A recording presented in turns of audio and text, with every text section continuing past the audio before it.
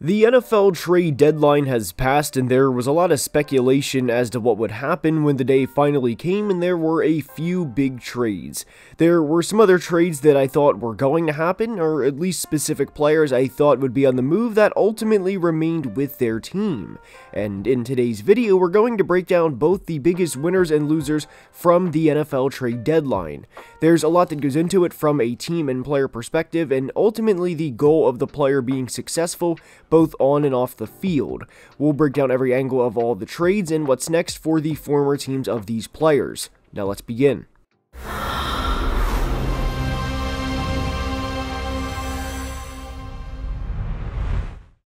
And we are starting today's video with one of the biggest winners from the trade deadline, and it's Chase Young of the 49ers.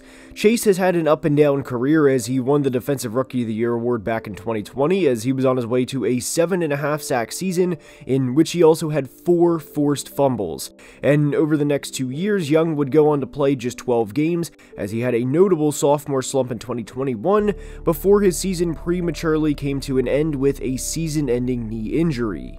He would play just three games in 2022, and 2023 was going to be a big test for him. Was he a one year wonder, or could he become a player that had Myles Garrett type pre-draft hype and proved to be worth the number 2 overall pick. Well, in 7 games for the Commanders this year, he had 5 sacks, but what you may not know if you haven't paid attention to the Commanders is Chase also has 38 pressures in 7 games, which ranks ninth in the league. Oh, and those 38 pressures in 2023 are 6 behind Nick Bosa on 32 less pass rushing snaps. So, for the 49ers to get a player like Chase Young for just a third round pick is an absolute steal and they too, like Chase, are big winners from the trade deadline. But they're not winners just because they acquired a good player and what could be a move to push them to a Super Bowl title. If Chase Young walks in free agency, which is very possible considering he will want to get paid like a top 10 pass rusher, which would be in the ballpark of $25 million plus per year, the 49ers will get a 2025 third round comp pick if Chase does not re sign with the team. Finances are always tough in the NFL, and they're especially tough when you have to pay players like Trent Williams, Arik Armstead, Nick Bosa, George Kittle, Fred Warner, Deebo Samuel, and Javon Hargrave, so I wouldn't be surprised at all if Chase Young walks. But because the 49ers get a third round comp pick in return, while sending a comp pick they received from losing Ran Carthon to the Titans, it's essentially a free rental of a Pro Bowl caliber player.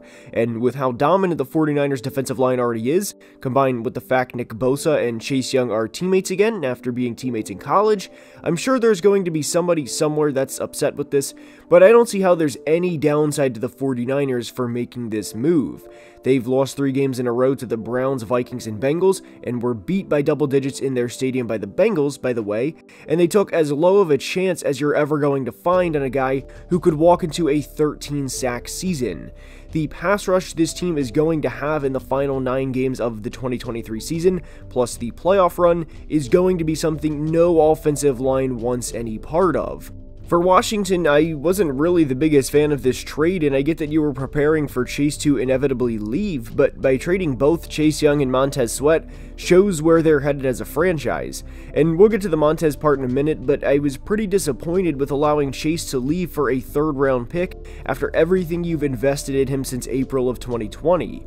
I get that we can do this with a lot of teams every year, but this franchise drafted Chase Young number 2 overall and less than 4 years later flipped him for a measly compensatory third round pick, while Justin Herbert and Tua Tagovailoa are playing great football. And I know the Lions probably think the same thing with Jeff Okudah given he was the immediate pick after Chase, but if you were going to get a comp pick anyway when Chase left, why not keep him for the remaining nine games of the 2023 season? Because all you have to do now is try and replace a guy who, again, is top 10 in pressures so far.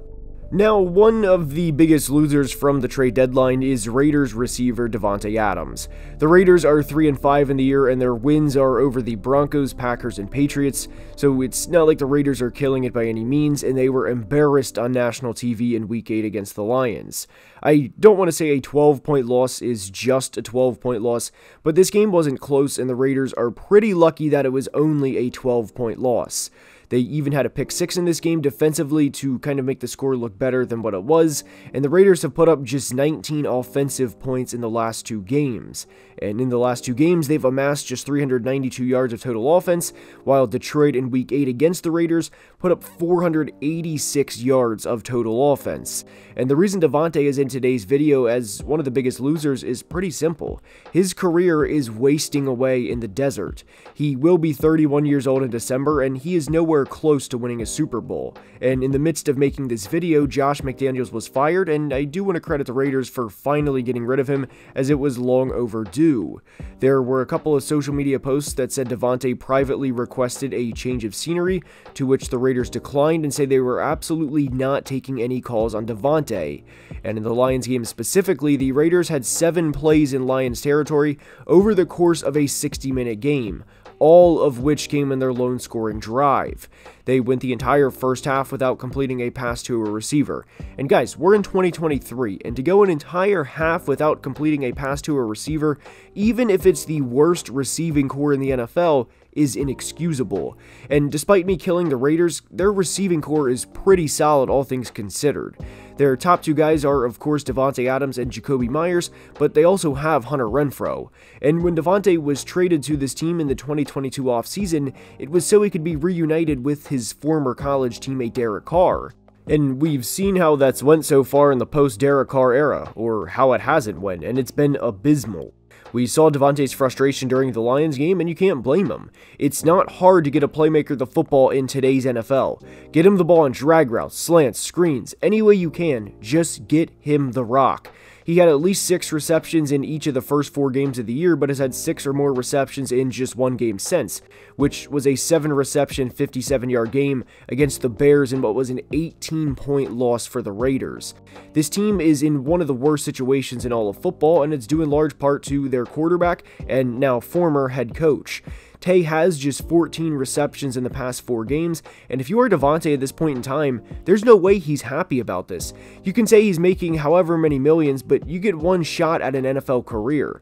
And because of how the Raiders have handled the past few off seasons, they're wasting his career, or what's left of it. This team needs as much help as they can get and as much young talent as they can get, and I don't understand why they didn't field any calls. Davante has to stay on a bad team rather than go to a contender, and unfortunately, he is is one of the biggest losers from the trade deadline. Next up is the Chicago Bears, who I believe are winners from the trade deadline, and it's for a few different reasons. They acquired Montez Sweat for a second round pick, and I know a lot of people complained about this for the Bears initially, as they paid a pretty hefty price for a player on an expiring contract, but I think the Bears will work out a long term deal with Sweat and keep him in Chicago for the next four or five years. And this is why I think the Bears should be considered winners.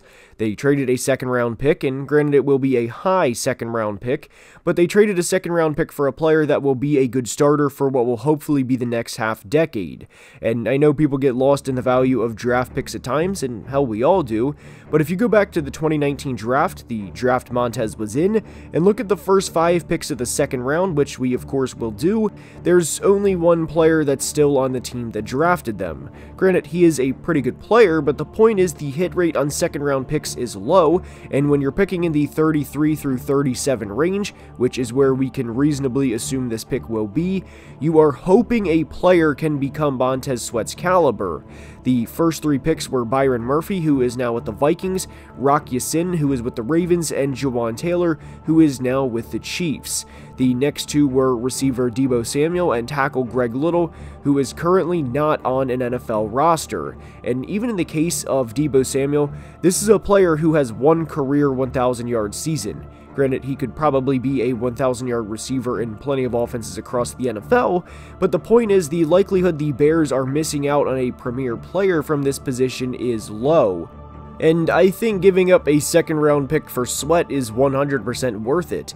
Yes, you're going to have to pay him, but so what? It takes pass rushers a few years to truly develop, and Sweat has 35 and a half sacks over the first four and a half years of his career, including six and a half in eight games in 2023 alone.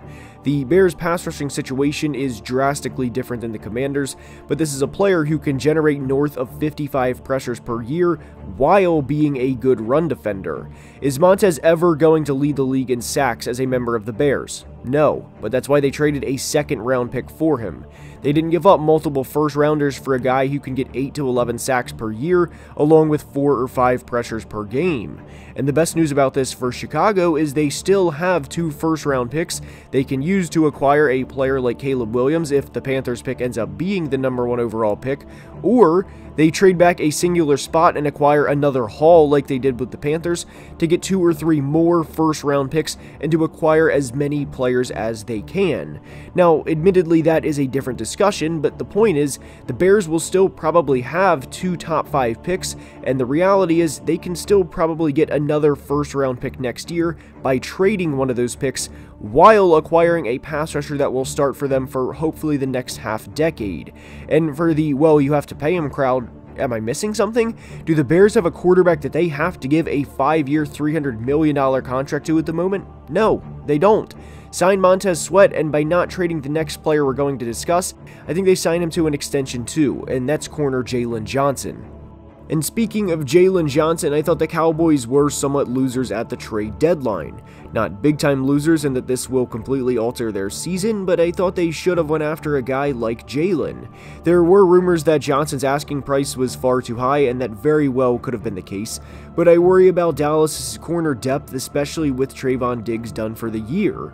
And if there's two positions in the NFL you can never have enough depth, it's pass rush and corner.